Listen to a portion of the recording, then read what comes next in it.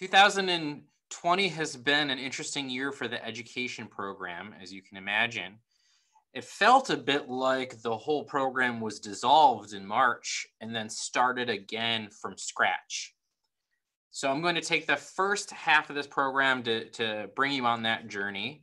Then the second half, I'm going to focus specifically on how to give a nature tour with a selfie stick, which is what you're seeing in the photo on there um, on the title screen. This will be a little bit different than the other talks today. Hopefully it'll be a little bit of a fresh air and just reminding you about uh, that spark of, of wonder and the excitement of curiosity that you felt when you were a child discovering nature for the first time. And we're going to talk about uh, some of the challenges of virtual remote education, but also the positives. And I've been surprised by how many positives there have been.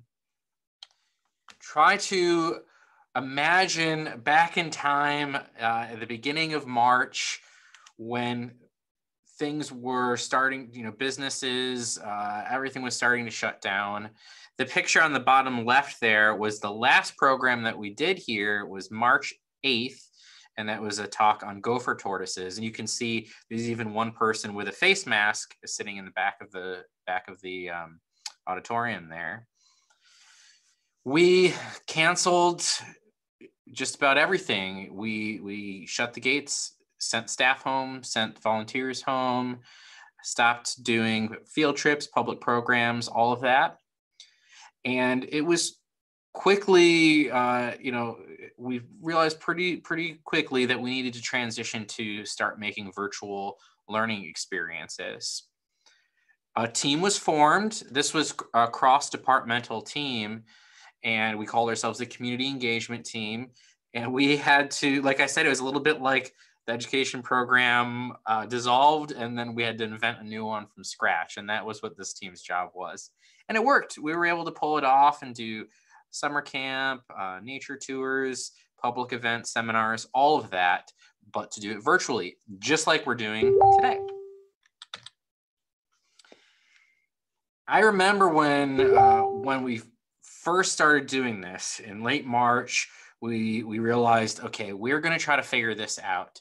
For me, as someone who's been giving you know in-person outdoor tours for years, my first thoughts were how could you possibly create anything of value for the for the children when you can't be outside together and maybe that's what you're you're thinking too and for a field station education at a field station is so much about having uh, having that that time to be out um, to to make your own choices of what you want to look at to be able to observe and investigate things out in nature and uh, it's pretty hard to do that if you can't get out there. But now, sitting here at the end of the year, I can say that there there were a lot of positives that came out of this, and I think that these are all um, these are all lessons and uh, these are tools tools that we have now that five years from now we'll still be using. So I do want to focus on some of these positives that we didn't even think about going into this. Essentially, having to reinvent our outreach as remote virtual education really pushed us to adapt uh, technology in, in a way that we hadn't before. We were always interested in trying out technology for education and, and doing new things, but this was a quantum leap for us having smartphones, webcams, and, and Zoom everywhere made it really easy to involve more presenters, to bring guests in, to collaborate across long distances, and to create video projects um, just with you know with a smartphone and and a computer. So we didn't have to go and, and hire a professional team. We could create this content ourselves. There's some photos here of great examples of this. The top right was a surprise party we did for Hilary Swain's 25th anniversary working at Archbold. And this was wonderful because we told her it was going to be an event with board members. And she gets on and says, "Wait a second, you know what's what are my relatives doing on here?" we were able to pull in, you know, uh, relatives, uh, board members, staff, people from all all across the country that had known her or worked with her. In the bottom right, that's a picture of the artist Deborah Mitchell and our researcher Reed Bowman, who was on a little earlier.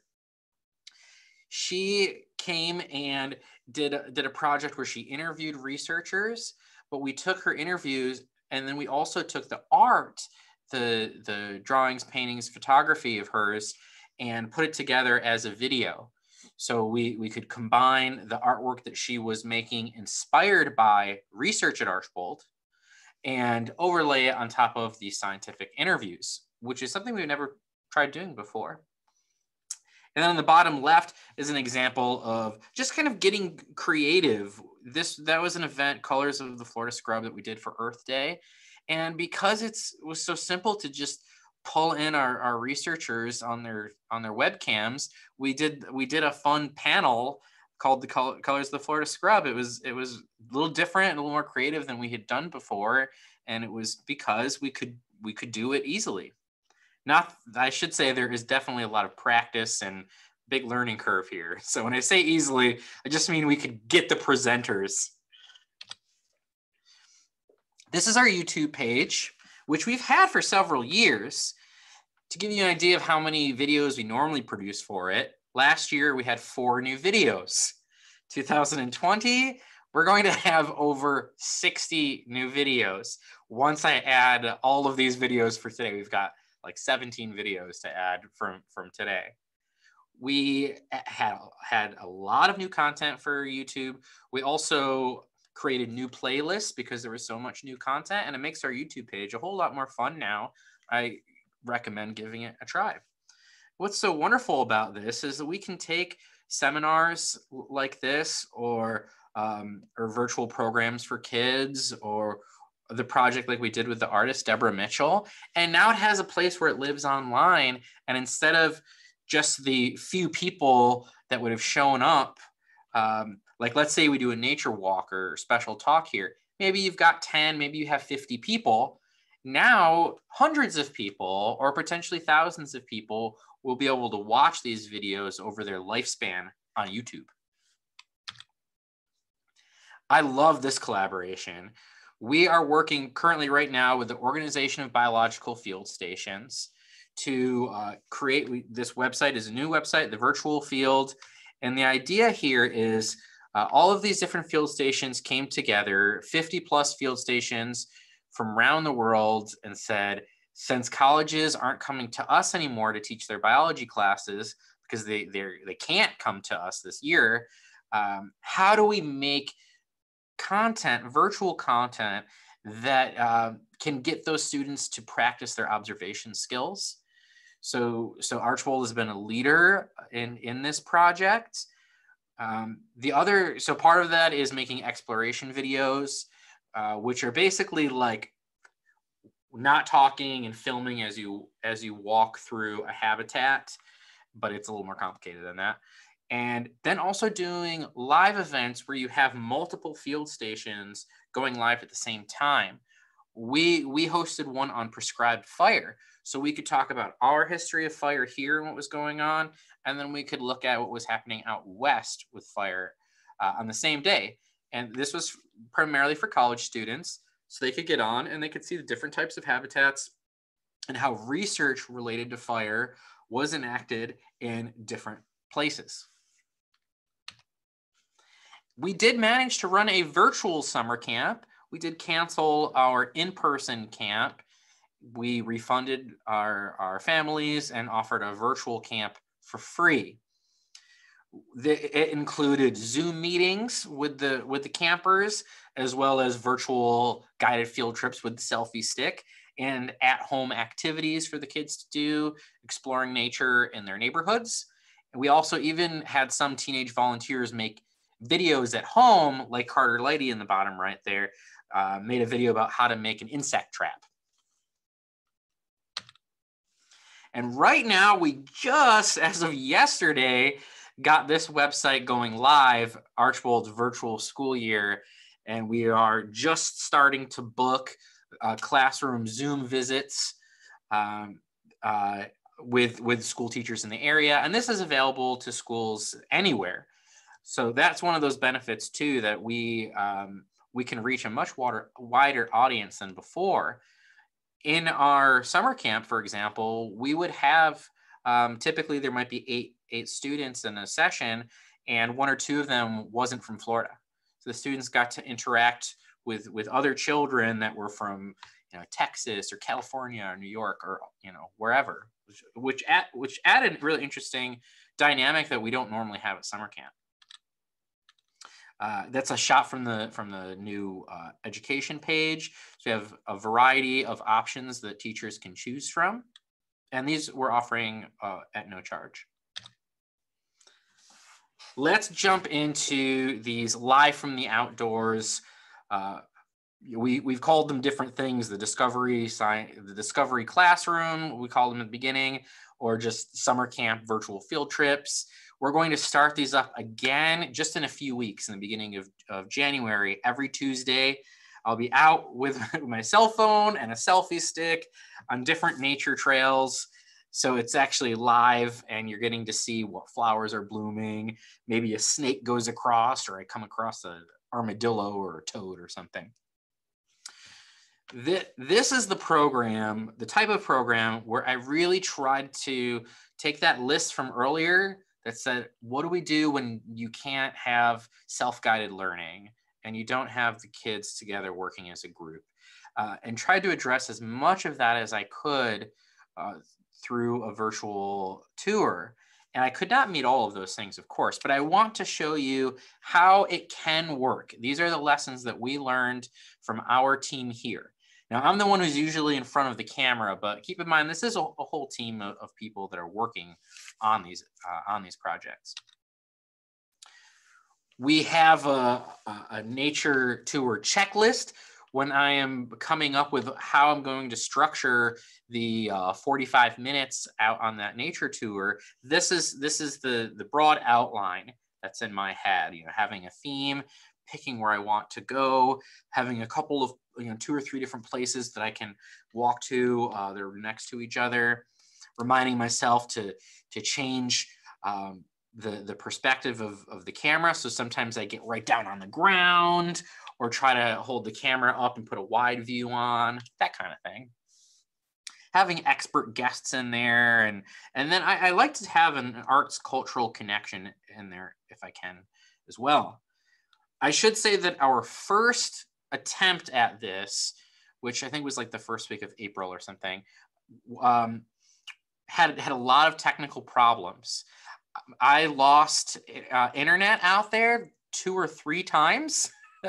my camera or my, my phone uh, was over i think it was because it was overheating uh, it actually and it overheated um, many times throughout the we've done 10 of these programs so far we had so we had issues like that um, all kinds of little things that we had to get worked out so the first time you try this it's not going to be perfect so it, it was very encouraging when when i started getting messages here and there from other people um, and sometimes educators saying, "Hey, your your team is actually really figuring this out." So I love this quote here. This was an educator that had emailed me saying, um, "I want you. I did want you to know that most of us recognize that you have raised the bar with your successes, and it's really a pleasure to follow follow your work." That's really feels really good we aimed this at kids, but we wanted it to be for the general public too. And we actually have had five year olds as well as, you know, PhD professors and retired people, you know, grandparents watching with their grandkids. We've had the whole gamut. And the thing is, when you get outside and are you show that that nature uh, is interesting to you and you got a smile on your face and you're looking at a bunch of cool stuff, it seems to appeal to everyone. Then we have the question and answers at the end. So for the people who really do want to dive into the science more, they can stick they can stick around for that part. I'm going to show you uh, some different clips. Um, this is supposed to be muted here because I want to talk over it, but Let me go. Okay. So here are some of the the tricks and some of the some of the things that we did to make our program a success. One thing is that you can buy little extra lenses that you just stick right onto the back of your of your cell phone. You can buy inexpensive ones for uh, around forty dollars, or you can buy, you know, the the more professional types that are around a hundred dollars a piece. But check that out. That's a that was from a kit that we bought. I think it was thirty five bucks, and I can right in in the middle of, of the program just boop stick it right on there and take a close up look at some flowers that helps us to simulate what it would be like if you if you were uh, out on a nature tour yourself and you want to get real close up and look at something so i i love i love this as a tool um, i'll say that it is much better to have that part planned out because if you do try it on the spur of the moment when you see something cool it can be it can be difficult to get things in focus it can be tough to do keep, I'm going to keep these muted too, but I just want to give you an idea here. Uh, I tried to have a, a, a, guest on every one of these. So we could uh, have, have me out in the field and then take a five minute break while I let my phone cool down. I'd stick it into uh, a little cool, literally into a cooler, literally uh, with an ice pack in there and then have uh, somebody else in their office or at home um, going live and doing a little presentation. So this was one that we did on skulls. So that's that's Emily. Uh, so I was out in the field. They said, "All right, now we're going to go to Emily," and she answered a poll question to make it interactive with with the visitors or with the attendees. We could pop up questions like, "What's the best way to clean an animal skull?" hydrogen peroxide or boiling or you know sparing it in your backyard and then the expert can come on and answer the question and go into their short presentation and then when they're done boop goes right back to me and then the expert is still there for the question and answer. Hold on one second here we go. I try to always put in a little bit of uh, arts and culture uh, either history or literally music into the programs. For example, when we were at Lake Annie, I was filming from a kayak and we we played a clip of music that was made by researcher Evelyn Gaiser, uh, who took temperature data from our lake and turned it into a classical music composition. So I'm actually out there live, rowing, you know, out on my kayak, while listening to the music. And this is the view that the, the attendees have. So they're getting to see me have a moment while the music is going on, uh, see me experience it. And then we had we had Evelyn on and she was able to talk about that project and answer questions.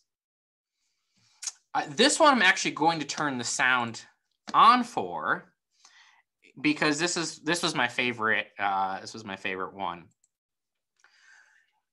one of one of the the tools that we have is pre-recording you never know what you're going to see when you're actually out out on you know in nature. So for example we were trying to uh, put out some fish traps. And i did go out the day of the the, the program and put fish traps out the, or the day before and we didn't catch anything. So luckily i had gone out i think it was four or five times going to this pond um, and practicing and preparing for the for this live event um, and set out traps uh, two two times before the actual live event so that I knew we could record and get something that worked. Here we go. Back again this morning. Let's see if we found anything different.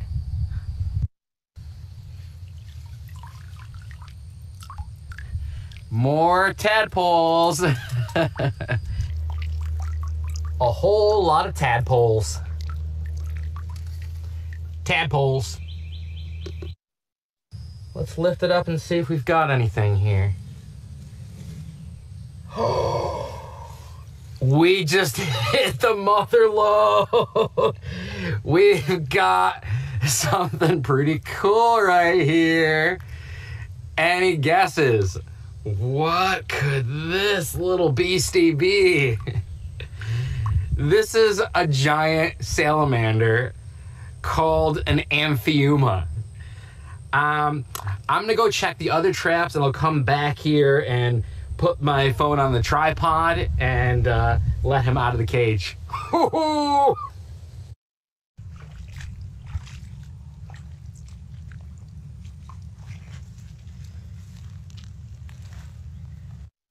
if I could have picked one thing to find out here this morning, it would be a two-toed amphiuma right here. There are mud turtles, there's water snakes, and we could have caught both of them in this little minnow trap, but this is what I was hoping. I love I really love that segment. It, it, makes me so happy.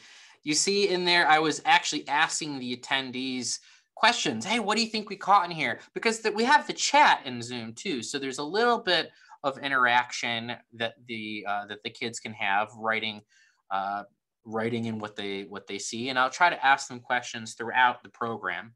And I can see their I can see even though I'm just on my phone, I can see their chat messages pop up briefly as they're coming in. Again, we we uh, can't totally replicate the experience of being out there on you know really outside and experiencing these things but me as the personality on camera i think of myself like the avatar for the the viewer and they can experience that joy of lifelong learning and the wonder of nature uh, with me if i'm properly demonstrating it for them so that's a big part of my strategy when I'm doing these things. This is the last clip I'm going to show. I'll turn the sound off again for this one. Um, this was another pre-recorded part for, for one of these events. And what I wanted to show that was kind of fun is I actually filmed it from my car. I mean, we're on a little dirt, private dirt road here. I'm going very slow. But we, because of being able to make video segments without a lot of uh, equipment, uh, I could make a little adventure kind of film here. And I, I did the live event at the ranch, but the internet at the ranch uh, was, there, there, yeah, the, the cell connection at the ranch was not so good. So I couldn't do the live event by like walking around to different spots. I had to just stay near the buildings. But having a video like this allowed me to still make it feel like for the for the participants that we were traveling through the property. So I was in my car, and then I went, um, you know, go walking through ditches and doing fun stuff like that.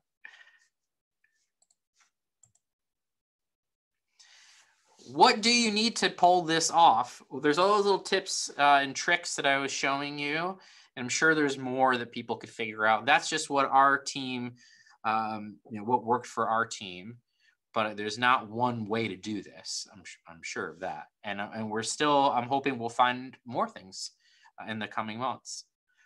But essentially, you, you need a you need a cell phone. We found having a MiFi was very helpful. That's a, a, mobile hotspot. So we could use the instead of using the data plan on my phone, we could use Wi-Fi, which helped keep it from overheating. I've also got cooling pads. I'd stick a cooling pad on, on the back. In this photo, you don't see a cooler, but I would usually have a cooler and I'd stick the phone in the cooler as well.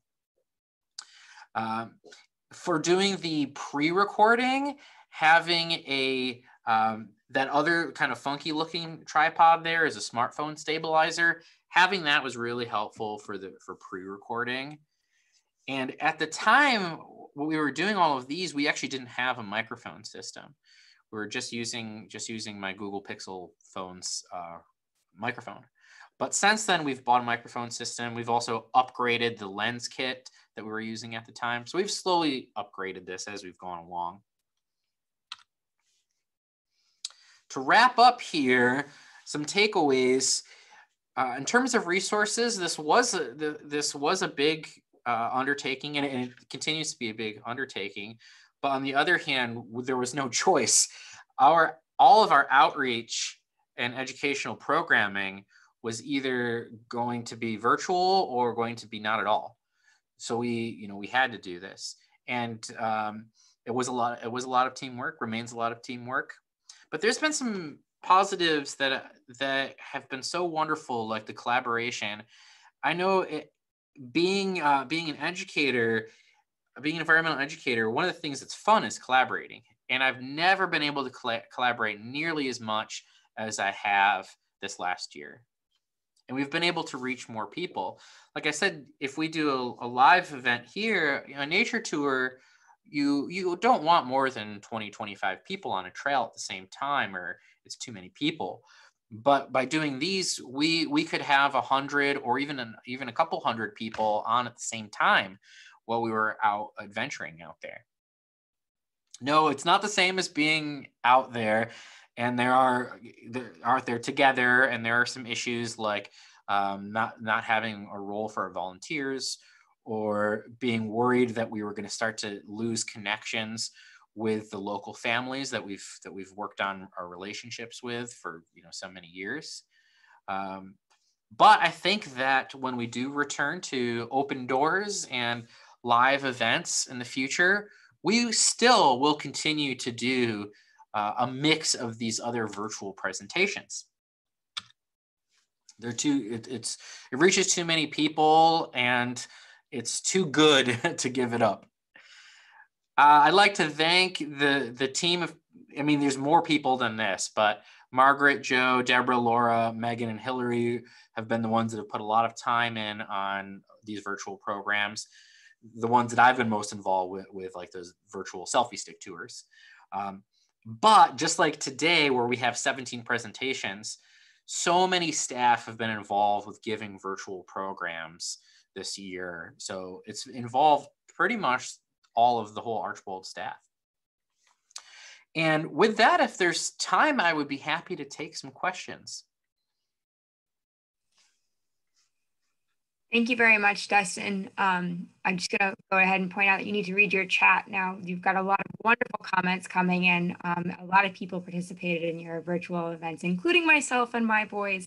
They were definitely a light in a very dark time in the spring when we had to go to virtual and none of us knew what we were doing. Thank you so much for that from a personal um, note. Uh, we do have a couple of questions. One I think you kind of answered, but if you could just maybe give two or three quick uh, suggestions from Clara Mullen. She wanted to know if you had any issues with connectivity in the field.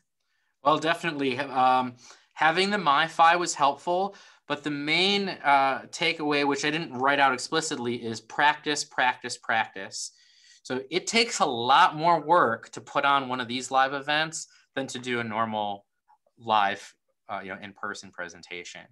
So you need to go, you know, two or three times to the same site and, and make sure that your internet's working, practice it all. Because um, yeah, it is, it is definitely an issue. I do think that the viewers are generally pretty forgiving of it though especially in the beginning of the pandemic when people were pretty desperate and they were stuck at home they they didn't mind if if you got cut if you got cut off and, and stuff um, so the MiFi is helpful but you some like the ranch we still even with the MiFi could not go to the access the areas that we wanted to so i had to just stick next to the buildings when we did the event Great. And I'm going to ask you part of Viv's question just really quick because I really like it. Um, she wants to know how you like doing these virtual events compared to in person events. They're so different. They feel more, I like them. They feel more like a play, like a one person play, or like you're part of a TV show or something. it feels like, I mean, you're out there by your own or by yourself, but you, but what's fun is that you have the other like the guests that are at their house or at their at their office so you're getting to interact and go back between people and so i i do think they're really fun but um, i i would never by choice stop doing in-person tours. You know i, I want to keep doing in